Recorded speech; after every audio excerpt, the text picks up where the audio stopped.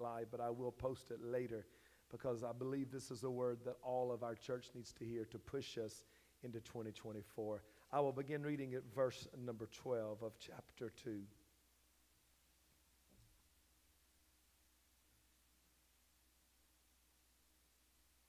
I will surely assemble all of you, Jacob. I will surely gather the remnant of Israel. I will put them together like sheep in the fold, like a flock in the midst of its pasture. They will be noisy with men. The breaker goes up before them. They break out and they pass through the gate and go by it. So their king goes on before them and the Lord at their head. Verse 13 says, The breaker, the Messiah, the breaker, goes up before them and they break out and pass through the gate and they go by it. Father, I pray that you bless this word tonight. God, if it's your will, let me be done by midnight. If not, let me forget the clock. I pray, Lord, that you speak through me tonight in the name of Jesus. Amen. Tonight, I want to deliver this is the last message of 2023 from this pulpit. I believe this to be a prophetic word for the church, and that's why I feel like it is so important. Tonight, from this holy desk, I declare that Jesus the Messiah, the breaker, is going before us and we will break through. For too long, we have lived behind the walls of exile. We superiority. We've lived behind the walls of depression and oppression. We've settled in a foreign land long enough. I believe we've depended on our captors to provide for us long enough. I'm going to say that again. We have de- depended on the people that imprisoned us to provide us food. We've depended on those that has held us captive to give us bread. We have depended upon the captors long enough. We have trusted that the land of our captivity would bring us what we needed, but not anymore because this is our year of breakthrough. And I declare that Jesus the breaker is going before us and walls of captivity is being broken. The walls of imprisonment is being knocked down in Jesus' name. Somebody say amen. Jesus is providing a new gate in the wall, and we're going to walk out of this land into a land of prosperous, a land that is prosperous, and a land that is peaceful, and a land that is full of provision. It's time for the Rising Fawn church of God and those under the umbrella to experience breakthrough. Jesus, the waymaker, is the one that breaks open, breaks down, and breaks up the obstacles, opening the way to new territories, new inheritances, and a new destiny. Jesus, the breaker, is for us tonight, and He's going to free us tonight. And I declare in the name of the Lord Jesus, new doors are going to open into new areas, new opportunities will present themselves, new places and new positions are opening up because finally we're in the right time, in the right place, in the right season, and Jesus, the breaker, goes before us. Isaiah chapter 10 verse 33 through 34. Behold the Lord, the God of armies. oh, help me, Jesus. Behold, the Lord, the God of armies, will lop off the branches with terrifying power. Those also who are tall in stature will be cut down, and those who are lofty will be brought low. He will cut down the thickets of the forest with an iron axe, and Lebanon will fall by the mighty one. Pastor Chris, what does that even mean?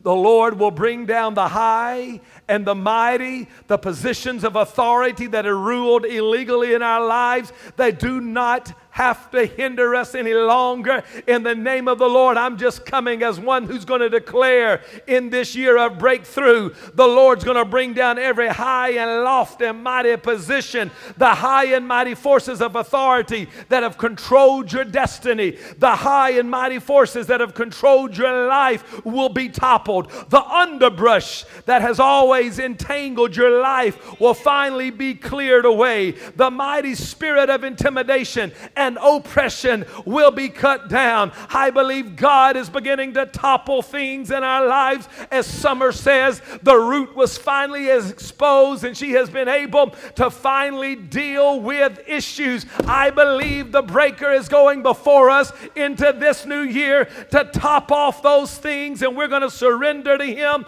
and He is going to move in our lives and we're going to see finally a path that is clear. Oh my goodness, because I believe for so long there's been a path covered with underbrush, but in the name of the Lord Jesus Christ Rising Fawn, God is clearing the path and we will walk into our season of breakthrough without having to worry about underbrush. Jesus has already ordered our steps, He's planned our ways, and so I just surrender to Him. I just say, God, have your way. Have your way, mighty God. Have everybody say that.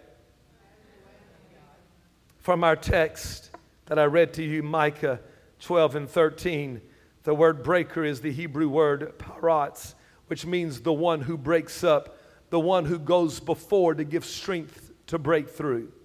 Breakthrough is the word abar, which means to pass over or cross over. According to scholars, paratz can also mean to impregnate with concepts, ideas, and purpose. The seed is planted and it goes through the growth process. Tonight, let me quickly give you three types of breakthrough. There's three types of breakthrough. The first one is suddenly. Everybody shout, suddenly. Oh, this is what we all want. This is what, oh, we get frustrated if we don't have a suddenly. And I'm, and I'm grateful. I believe we're moving into suddenly seasons. I believe we're moving into the Amos paradigm where the reapers are going to overtake the sowers. I'm believing everything is coming to a, to, to, a, to a point where all the words of prophetic is coming into alignment with the fulfillment. Why? Because Jesus is coming soon and we've got things have got to begin to line up. The promises of God cannot always dangle out here because Jesus is coming and every promise will be fulfilled. So therefore the time is drawing nigh to where prophetic words and the fulfillment of those words and prophetic promises and the fulfillment of those promises are coming to pass. And I'm grateful for sudden breakthroughs where all of a sudden it bursts up in the situations and the hindrances are God and God comes and it breaks up and instantly, whoa, whoa, wow, I'm free. Oh God, I love suddenlies. Can somebody just say, Give me a suddenly? Am I the only one that needs a suddenly? This year I've decided, Mandy, I will only register once for the HGTV home giveaway. I don't take the home. I don't take the home. I only take the cash value of the home and the car and the $100,000 to go along. I've said, God, I, I used to register every day and pray over. Today, this year, I just said, God, one time. And I will know it's your will if I only win with one register. God, I need that suddenly. Number two, growth. You got to grow your way out of it. Sometimes breakthrough requires you to grow, like Trina, who had to grow and begin to transform the culture of her spirit. And with growth, you begin to understand the way out. As you begin to grow, you begin to comprehend. All of a sudden, as you grow, you see the visions of other doors to get you out. And with the assistance of the Holy Ghost and the holy wisdom of God, you begin to achieve supernatural breakthrough, not suddenly, but because you applied yourself in the Word and you applied yourself to, the, to, to faith, and all of a sudden you become stronger and you break out and you break through. He grows your faith and your strength, which leads you to open doors. Sometimes it ain't going to happen suddenly. Sometimes you go through the process and you grow your way out of it. And then, number three, you impregnate your soul. You impregnate your soul. Some breakthroughs occur from God planting that seed. But then you got to nourish it, you got to care for it. You got to protect the womb of your soul until it's time for it to break out and live outside of the womb. Listen, some promises must be cared for. If you don't nurture it in your soul, it will not live on the outside of your soul. Some of you are hoping just to have a, a miracle living on the outside. No, no, sometimes it's got to be birthed out of you. And out of that breakthrough comes. Out of the birthing, you've got to get pregnant with the word that the word becomes full, and all of a sudden now it's living on the outside of you. We need the breakthrough of the word. However, whether it's suddenly or whether it's through growth or whether it's impregnating your soul, we have got to understand that breakthrough is not beneficial for us if we carry the old us. And I mentioned that this morning. We cannot carry the old us into the new land. Too often, God moves us into a new place and we contaminate it because we've never changed. We take the old mindsets into a new place and expect it to be new but it's not new because I'm still thinking like I did in the old place. I'm thinking like I did when I was in Egypt. And I'm not in Egypt anymore, but my mindset is still to want and desire and complain and, and live as if I'm still in Egypt. And, and if I continue that, I will begin to always bring myself back into condemnation. So soon, the new place is so messed up. Listen, I can carry all my baggage and move to New York, and New York still has my baggage. Changing my city will not change me. If I'm not changed internally with the word of the Lord, doesn't matter where I go, I'm still there. And some people trying to escape problems, and the problem is wherever they are because it's them or it's in them. Amen, somebody. They ain't here. So you might as well say amen real loud. We have all prayed for new places. We have prayed for breakthroughs in the past. We've prayed for new seasons in our lives, but we've always had the same results year after year. In order to sustain real breakthrough, we must be willing to go through the process the process of change a change in your mind, a change in your soul, a change in your spirit. And it seems that we've said this multiple times we must be willing to die. Flip with me to Second Corinthians, six minutes, unless you live where Adam and I live, and then it's an hour and six minutes. I think we're going to ring in the new year, Alabama time. Flip with me quickly to Second Corinthians, chapter 5. Let me just teach you quickly, and I will do this quickly because I, I see some of your eyes are like, ooh, well, I didn't know this is what midnight looked like. Huh? I didn't, I didn't, I ain't never been in this church at midnight. This is pretty cool. Let me, let me just give you quick instructions. I can do this in six minutes. For the love of Christ, uh, let's, let's back up. Verse 13. For if we are beside ourselves, it is for God. If we are of the sound mind, it is for you. Look at verse 14. For the love of Christ controls us. The love of Christ controls us. Having concluded this, that one died for all, and therefore all died. And he died for all, so that they who live might no longer live for themselves, that we who live no longer live for ourselves, but for him who died and rose again on their behalf. In other words, I don't no longer live for myself. The love of God controls me. How many of you are being controlled by your love and your passion of God? Or are we still being controlled by our own desires and all our own needs? The Bible says, let us die so that Christ can live. Verse 15, He died for all, so that all who live might no longer live for themselves, for Him who died rose again on their behalf. Therefore, now, on we recognize no one according to the flesh, even though we have known the Christ according to the flesh, yet now we know him in this way no longer. There, now here's the verse everybody knows. This is the verse Adam loves to preach. Therefore, if any man is in Christ, he's a new creature. Old things have passed away. Behold, all things become new. Don't we love that? Don't we quote that? But we never talk about the things that come new is after I die.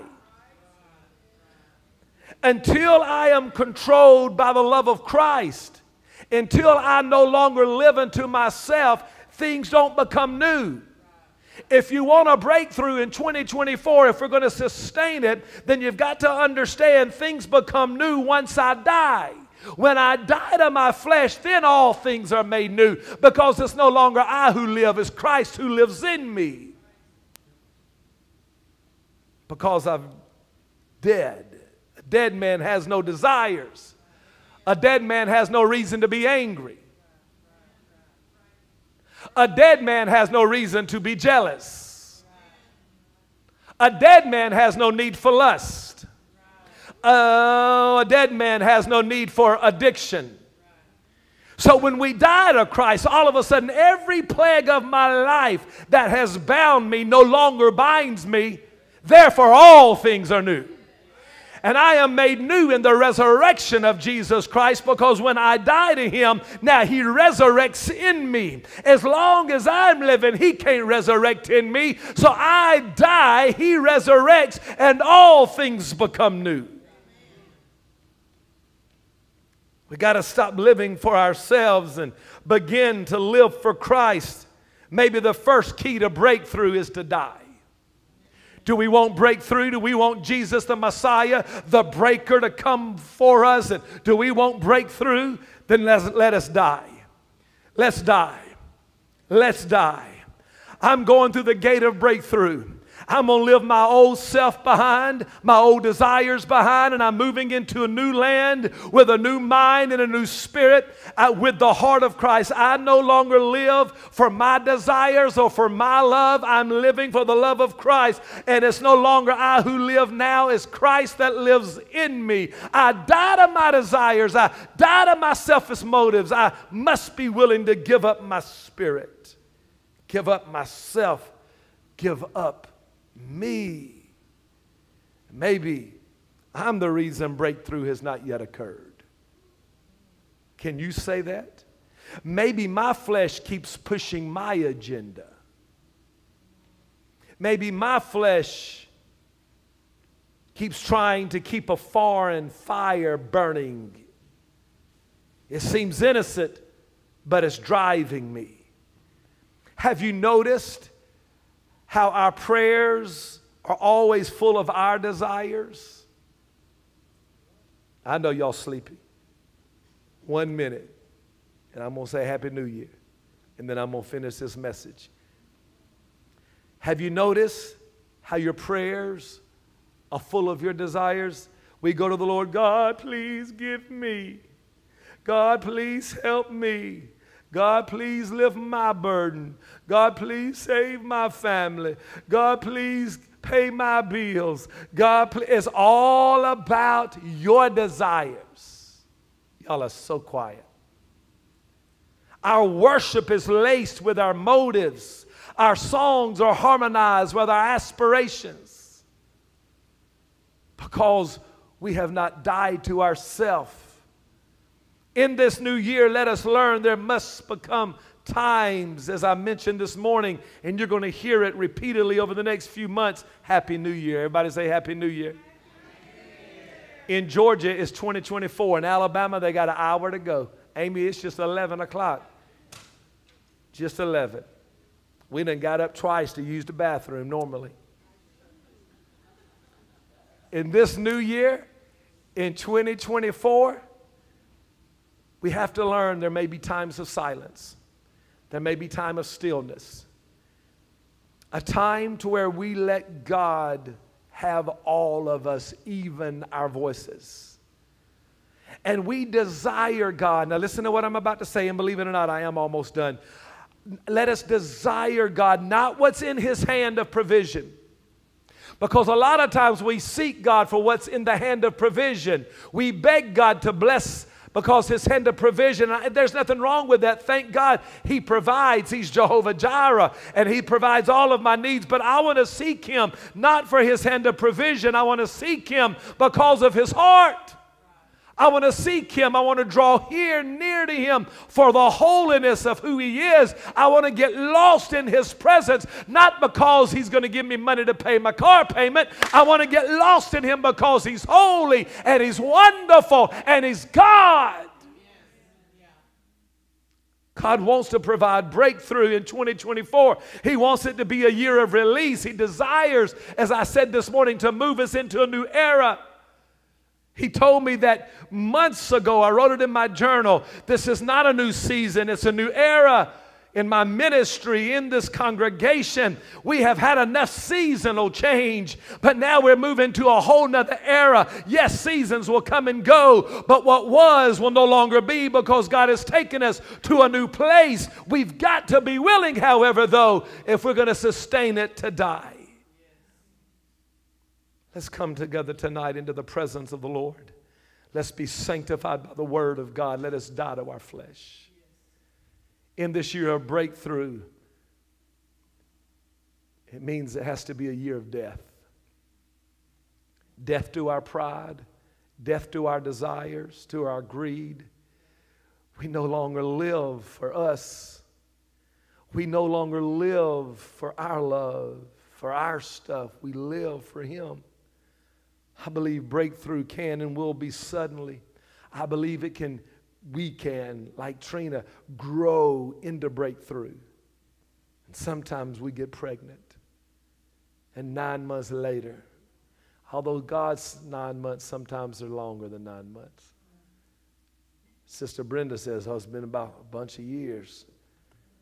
But don't you know, once you get that word, breakthrough comes.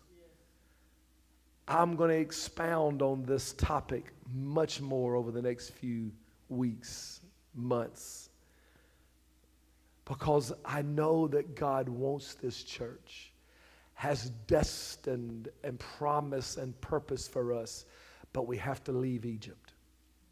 We have to leave a place that was and move into a place that is. The breaker has gone before us. I'm not doing this on my own. We're not going to do this on our own. We're doing this in the name of Jesus Christ. The breaker goes up before them. They break out. They pass through the gate. They go by it. So the king goes on before them, and the Lord is at their hand. I declare the breaker has gone before us. Haglers, if you'll come. Sister Nikki, you'll have to turn the piano mic all the way up for little Sadie.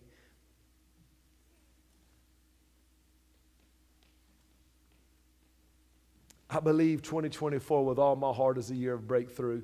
The Lord gave me a vision a few days ago, and I've been, I've been, you know, sometimes you don't know how quick you should share stuff. And since this is a smaller crowd, I'm going to share it. And then if I get chastised, God, please be merciful. I was standing in the parking lot of the church, very cloudy, stormy night. Not raining, not lightning, just, you know, that darkness that hovers over. And from our front porch door was this glow. Have you heard me say glow? Let the glory of the Lord glow, glow, glory. I, have prayed that prayer in this building since this vision. And I saw this glow coming from the door. And I stood there for a moment noticing how dark everything was, and in the middle of the darkness was this glow from our door. And I wanted to go in for a moment, and yet I couldn't go in. And in my mind, I kept on going, but God, I don't understand. I, I want to move into this glory. I want to go to where the light is. And then I was able to see still dark everywhere. And out of the six windows in this building, the glory began to just flood out of the windows. So I knew that not only the foyer, because in my mind I was thinking, why are you only at the door? Why, God, are you only in the foyer? And then I began to see the glow penetrating out of all six windows in all directions. And then I began, as I mentioned this morning, I began to see the swelling of our walls pushing out. And for a moment, I wasn't sure what that was happening. And then I saw them move back in. And then I saw them push out again as the glow got brighter. And then I realized it was the breath of God breathing into our congregation. And I could see our building expanding as the breath of God breathed into this church. But then I turned around, being led by the Spirit, and I could see down Highway 11. This is interesting. And there were car after car after cars after cars after cars after car after car after car turning into this. All of them in darkness, no headlights on, in a stark night, dark, almost black and white, coming into color. And in my mind, I kept, I looked to the south because I what I pray is from all directions. And I kept on expecting to see that same long line coming from south.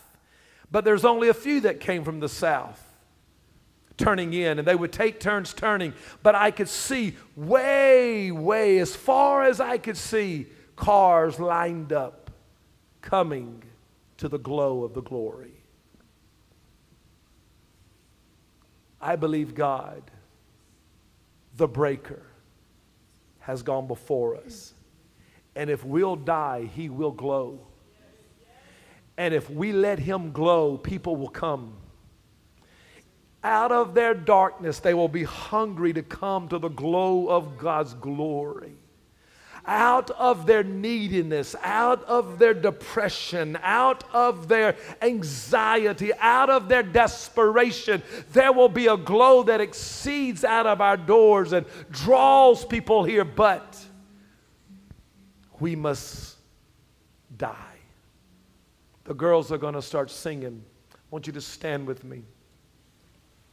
They're going to sing a song that I asked, then they're going to sing the communion song. They're going to be mad at me because they prepared about 30 minutes worth of music and I ain't letting them do that. Well, they may. The Holy Ghost might.